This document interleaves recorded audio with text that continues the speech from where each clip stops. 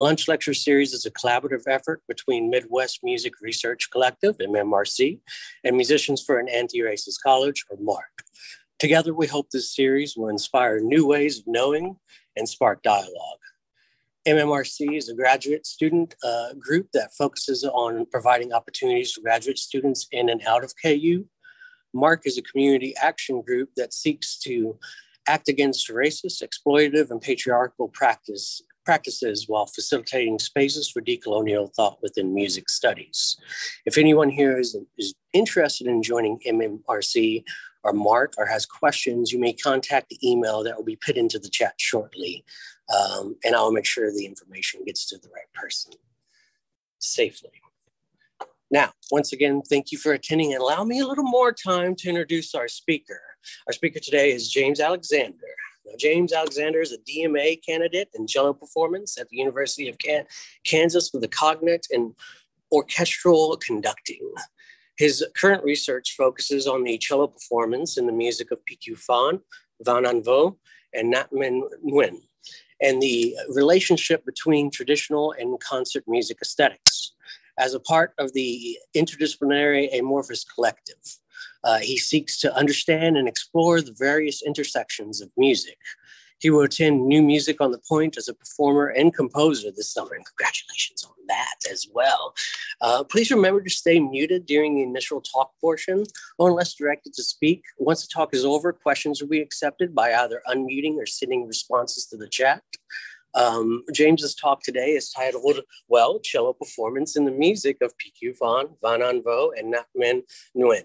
Uh, please put your hands together or applause emojis and ready the oh, ready for clapping emojis as we welcome James. Take it away.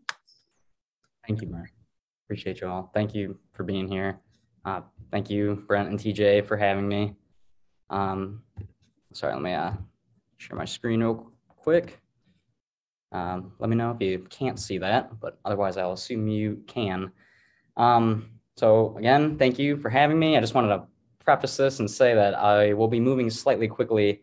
I have another rehearsal at 1140, so this will be about half an hour presentation, hopefully 10 minute Q&A or so. So without further ado, I'll just jump right into it. Um, as Brent mentioned, uh, the title of my research is Cello Performance in the Music of PQ Phan, Van An Vo, and Nhat Minh Nguyen. And these are all composers that were born in Vietnam, but now currently live in the United States. So, if you will, I'm just going to read a bit of my abstract to hopefully not too boring for you, but just to give you a bit of an idea about where uh, my what my DMA document looks like. Um, so, the various histories of musical tradition in Vietnam are indebted to the country's 54 different ethnic groups, as well as cultural influences, both near and far. Colonialism and war have also shaped the musical tradition that Vietnamese musicians living inside and outside of Vietnam have developed throughout centuries of exist- existence. Musicians today, such as the composers in this study, draw from traditional and contemporary styles of Vietnamese and USAian music. That's USAian music, and I'll explain that a little bit later, as well as other ideas learned through globalization. So the purpose of my research is to identify these different styles and help explain how they have been integrated in three respective compositions by the composers of the study. And I informed my approach by interviewing the composers on the relationship to Vietnamese and USAian musical aesthetics. Uh, so the following will be an exploration of how their compositions combine specific aspects of Vietnamese traditional music with specific techniques used in, quote, Western classical music and again, saying concert music. So my inquiry explores the definitions of these terms, Vietnamese traditional music, Western classical music, and USAian concert music. And it's because I believe the latter term, USAian concert music, describes the music of these three composers better than either Vietnamese traditional or Western classical music. And again, I'll explain that a little bit later. Um, so each case study has conventions of each of those terms. Vietnamese traditional, Western classical, to create USAian concert music, which is the sounds studied, admired, performed, and heard in US academies and venues. So my goal is to provide a performance manual for cello repertoire that uses aspects of traditional Vietnamese music within a USAian concert music style support existing research in the fields of ethnomusicology and cello performance, and similar endeavors in the future. Um, so my performance suggestions are based on correspondence with the composers and are included to help other cellists understand and perform these works. And I hope it provides a precedent to approach similar repertoire to Vietnamese traditional music, Western classical, and USAian concert.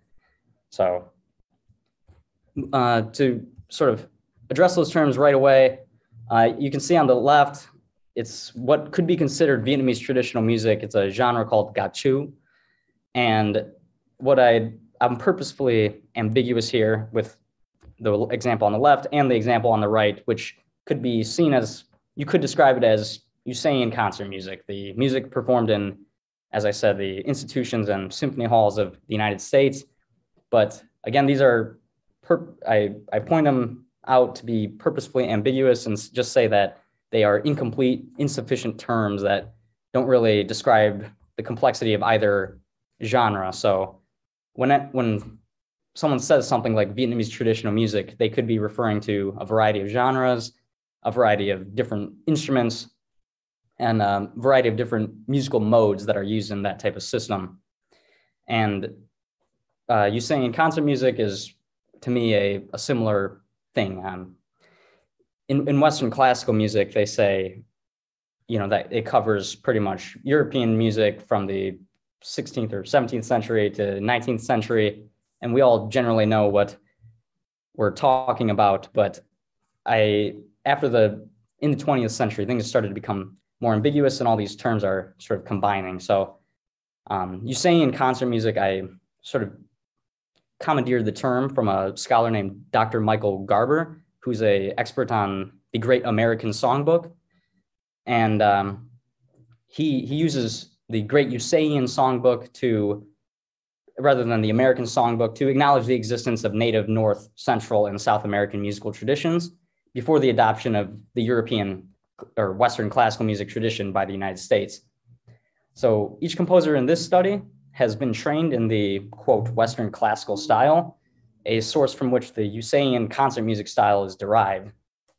And USAian concert music is heavily influenced by the conventions of what we know as Western classical music, but I believe the former, Usain concert music, is more open to the dynamic plurality of styles heard in the United States. And uh, it avoids that the this seemingly false dichotomy of Eastern and Western musics. So again, the study will focus on how these composers combine aspects of traditional Vietnamese and these other techniques we've been talking about in Western classical and USAian concert music. So first composer, PQ Phan, he's a comp uh, composition professor at the University of Indiana, Indiana University.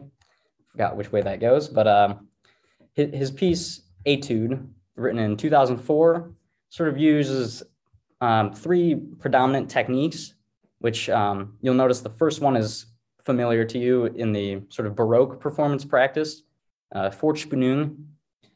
uh, but microtonality is something that has become more prominent in USAian concert music in the 20th century. But as you may know, it's what we know as microtonality or pitches in between the 12 notes on a piano are used quite ubiquitously in a lot of other traditional music or traditional performance practices like Vietnamese music, Indian classical music, and uh, Persian music, for example. And then a third category that he explores is sort of the combination of uh, melody and harmony that is a predominant texture in Bach. So PQ Phan was quite inspired by J.S. Bach in writing this etude, and particularly uh, J.S. Bach's unaccompanied suites for cello. So you'll notice this uh, pretty popular piece of music right here. It's the first Bach cello suite. And this texture that you're seeing is pretty characteristic of Bach style, the Fortspinnung, sort of the presentation, da da dee da dee da that first motive that becomes uh, developed throughout the entire piece. That's a again a common compositional technique by J.S. Bach, and uh, so you'll see that sort of right away. Or this is measure 25 of PQ Phan's etude. Almost the same notes, but you'll notice that this is a D uh, quarter, or it's a it's a raised natural, so sort of a half sharp uh, in between D natural and D sharp and almost the same notes, but it would be a different sonority. And this is a predominant texture of PQ Phan's etude, which as you notice is quite similar to J.S. Bach and the sort of Fortspinnung texture. So what you'll see is a pretty seamless integration of the Fortspinnung texture, but then also this concept of microtonality or pitches in between the 12 notes on a piano. Um, this next part, which occurs earlier actually, is another example of this. Um, the it's a seamless texture, but then the gradual increase of microtonality, even within these three measures, is seen as you go from a D half sharp, regular sharp, and then a double sharp, and then a raised natural. So you can see um, he's sort of combining the sort of predominant seamless texture of Bach again with this concept of microtonality. Um, as I mentioned, the the sort of melodic harmonic harmony style of Bach is seen also in PQ Phan's etude. The idea that um, all the notes are sort of occurring at once, but if you listen closely, you can hear a sort of melodic predominance of some notes or a hierarchy. Some notes sort of paint out a melody, whereas other notes are more harmonic. And so in, um, or more harmony, I should say. So in PQ Phan's etude, you'll see that displayed clearly. He actually, this, the very top staff is, or the, the two stop, top staffs are your sounding register, whereas the bottom line is the what you play. and these harmonics produce the pitches up at top. So you can see how he's even increasing what J.S. Bach did because uh, J.S. Bach did not use these sort of harmonics to increase and reach this register. So these are actually the sounding pitches, and you can see a, a low C versus a high A. It's quite a disparate range that he's able to um, create by combining double stops, but not ordinary double stops. One notes, one are some notes are open strings, and others are harmonics. And um, so he uses these these harmonies to create a, as I said, a a melody out of the harmonics, and you can see that here, a sort of harmonic or a melodic gesture comprised of harmonics, and then down here, the same type of thing, where there's a sort of predominance of some more melodic notes that you can see in the grace notes, whereas the harmonics themselves are more part of the harmony texture. so these are just some ways that uh, PQ Phan combines what I would consider the more like traditional Vietnamese aesthetics of microtonality. And um, another big thing, which I uh, should have mentioned earlier, which is that he's uh, imitating the, the Vietnamese instrument, the dan bau, which is a single string zither. And um, it's because it only has a single string, it relies predominantly on harmonics to create its sense of melody. And so that's why throughout PQ Phan's etude, you'll see harmonics everywhere, and it sort of imitates the technique and the timbre of the instrument.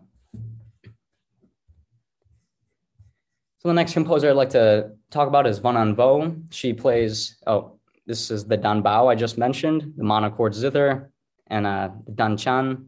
She also plays some other instruments, as you can see. But uh, she lives in California and she's become a quite notable proponent of Vietnamese traditional music. Uh, she's worked with uh, acclaimed musicians like Yo Yo Ma and Kronos Quartet. And so her piece, Awakening, is another example of how the Dan Bau has become sort of combined with what you could call, saying, concert music, inherently because it's a duet for Dan Bau and cello. And sort of the inclusion of a cello in the first place already brings you into the Western classical sort of performance practice. And so the three predominant techniques that she uses in this piece are first the, the dan bau part itself, which has its own sort of separate technique, and the techniques that are available to the dan bau, which are tapping the bow with um, the wood, uh, like a bow, a col legno, tapping the string with a bow, sorry.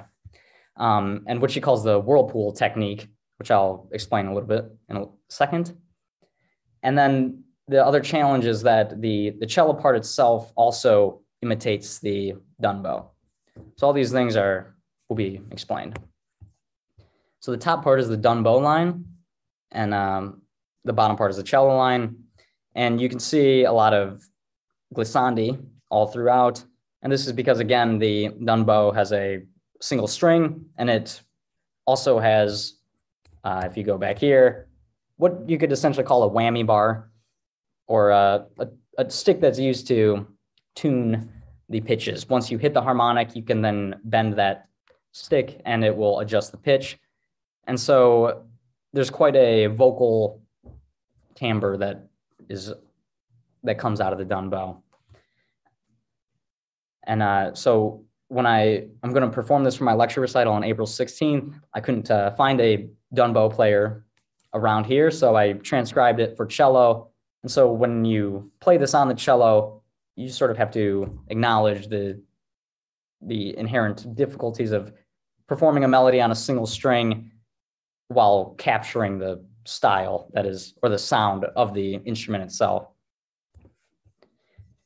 So a little bit later in the piece, Van-Anh puts in what she calls the whirlpool technique, which is a, I would call it an aleatoric gesture that opens up um, opportunities for the the cellist to imitate the natural phenomenon of the whirlpool. And so there's a lot of different sounds that sort of come out of this.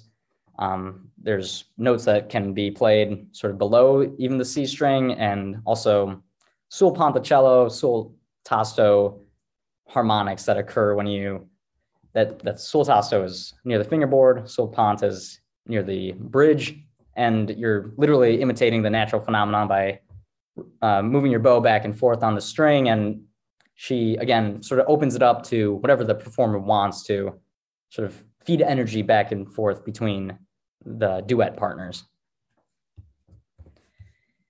And um, so to talk a little bit about the, the third sort of challenge of awakening is if you look at the bottom line now, you'll see these quite big leaps from an octave to a fifth. And again, this is an imitation of the dan bau technique, which is reliant on harmonics. So jumps from an octave to a fifth are quite uh, relatively easy on the one string because of where they're located on the harmonic nodes. An octave and a fifth are are on the single string. They just sort of need to be played, and then on the so this she sort of integrates that into the cello part, as you can see here. Um, they're not too difficult, but it's uh, something that would be slightly easier to be played on the dan bau, but then when transferred over to the cello, it shows how the techniques between the instruments are sort of compatible and can sound similar to one another. All right, so I got a so one last composer to talk to you about, uh, Nhat Minh Nguyen, and he he wrote this piece actually for the lecture recital after we were talking about sort of the existence of what are conceived as traditional music genres versus art music and uh, concert music music genres. and I should say that uh, this was originally called cello performance in Vietnamese art music, and I this whole process has been quite a revealing for me in terms of what how we use our terms and the implications that arise out of using certain terminology. So I, I realized soon after that the by saying something like art music, you imply a non-art music, and there's really no such thing as a sort of non-art music, and art music has its own tradition. So these terms are, you know, traditional art music, concert music. They're problematic, and so um, even of course, USAian concert music is a incomplete definition, but again, I believe it's a flexible term that can be used to describe what we're talking about here, seeing as all of the composers are performing this music and it's being studied in the United States. So this last piece is perhaps the most on the head about um, addressing traditional music genres of Vietnam. Uh, Quan Ho is per is one of the oldest uh, what is considered a traditional or Vietnamese traditional music genre. And it was originally a purely vocal genre that was sang between friends in villages or and between partners, small groups of people. And it it sort of uh, epitomizes a texture in Vietnam and other traditional practices um, of what is really complex monophony or heterophony. And uh, this will make sense in a little bit. But uh, so there's sort of three techniques I'd like to talk about here in Nhat's piece, which are how he uses quan ho, the performance and aesthetics of the traditional genre, how he uses electronics, and um, other modern styles that are used. So first, I'd like to show this excerpt from a Vietnamese scholar of a quan ho melody, just to point out some of the characteristics. Uh, first, that there's multiple meters, that these meters are flexible, and they sort of just change uh, seemingly, maybe a little bit what would seem randomly. There's a, a lot of grace notes, uh, sort of melismas, ornamentations, you could say, and this plus sign, which indicates what is called a gam or a feeling note, kind of like a blues note in between a third that is neither major or minor. And you can see there's quite a few of those, and they indicate a almost like an ineffable quality to the note that the scholar uh, didn't feel that could be captured completely by the notation itself. And so as we look through these excerpts from Nhat's piece, you'll see some of the similarities uh, right away in this first piece, our first excerpt from it. You'll see those same types of ornamentations, the same types of microtonality that could be perceived as gam notes or feeling notes. And um, what I had mentioned earlier about complex monophony or heterophony, uh, Nhat sort of tropes that idea in the original genre, it would have been two people singing the same melody together, and the differences in their personality would create nuances in rhythm and intonation. So they're singing the same thing, but not quite, right? And it's the so he plays with that idea here. Um, he the, there's an electronics playback that features some samples that I recorded. I'm playing this melody, and then I also play the melody live and then I sing the melody at the same time, and Nhat recorded himself singing the melody. And all these are sort of going on at once, sort of to play with that idea of a of the traditional genres complex monophony. Here, obviously, it's just between me and my former self and the composer. But again, just to take that sort of element of the performance practice and seeing how it can be applied.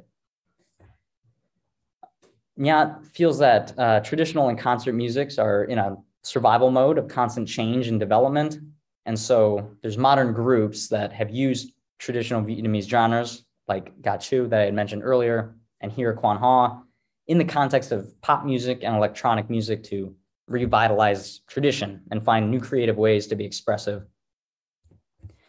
So he this piece is in his vision a type of laboratory where he's taking the components of different genres and styles and putting them together.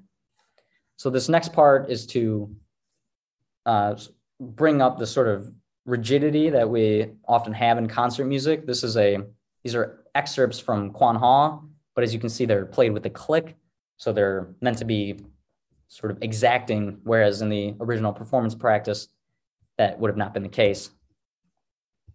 And uh, down here, you have more of what um are the sort of modern styles, just sort of a funky bluesy excerpt, and then as you can as it says, a Quan Ho beatbox mashup where the cellist has to hit on different parts of the cello, sort of again trying to bring in USAian concert music, hip hop, and then seeing what compatible elements does that have with Quan Ho. And then nearing the end of the piece, we get into uh, a, a technique used by Helmut Lachenmann, the German composer, in uh, this idea of instrument construction. You see a bunch of different gestures here that are paired along with the electronics, and this idea of sort of creating new timbres that are completely outside of really what we know. And this is inspired by Pression, by the solo cello piece Pression by Helmut Lachenmann. If um, you don't know that piece, it's quite, uh, it was monumental, still is considered quite forward thinking for the fact that it was written five decades ago, I think. And so as you get near the end, one of the last things you hear is again playing with this idea of complex monophony. There's several recordings of this Quan Ho melody. And I play it again live in sort of response to these previous selves um, to sort of show how, again, that even though the traditional performance practice is sort of um, far, I wouldn't say far gone, but it's it is quite far away from what is sort of relevant in uh, modern Vietnamese music today, and showing how you can use the elements of that traditional performance practice here in a modern setting. And uh, so the last thing I'd like to talk about is a sort of part of the further research section, which is a composition that I wrote in response to the three case studies. And I won't spend too long here, but I, I wanted to sh- provide a proof of concept that all of these things that I've been talking about in the case studies are definitely used in in USAian concert music style. So I try to break down what I believe to be sort of elemental components of various genres of Vietnamese traditional music. So these would be the sort of combined role of the instrument maker or the luthier, composer, and performer, musical modes with necessary ornamentations and what is known here as microtonality, and an improvisatory approach to the repertoire and sound aesthetic. And so I hope to capture these types of things in this piece that you see here, where there's a an electronics signal processing setup in the idea of like trying to create one's own instrument and also uh, improvising while you're sort of creating and responding to totally new uh, graphic scores and pitch collections. So really just trying to take back our own sort of creativity and response to tradition and trying to embody that in um, my own composition as a response to the case studies. So in conclusion, I again just like to reiterate that piece that you just saw and some other works I've done are responses to the case study to the case studies and reiterate how aesthetics of the traditional Vietnamese musics are used in USAian concert music styles. Uh, the repertoire of the cello has expanded within the last century to various musical genres and disciplinary fields. Modern performance practice trends towards polystylism and requires our adaptation, in my opinion. And the case studies develop understanding of genre construction, different musical aesthetics, and pliancy through what is seemingly perennial change. So thank you all for being here. I appreciate your time and consideration ton. Um, totally open to your questions, of course. And if you want to, I have all the works cited if you want any other information about what I've talked about. So thank you again.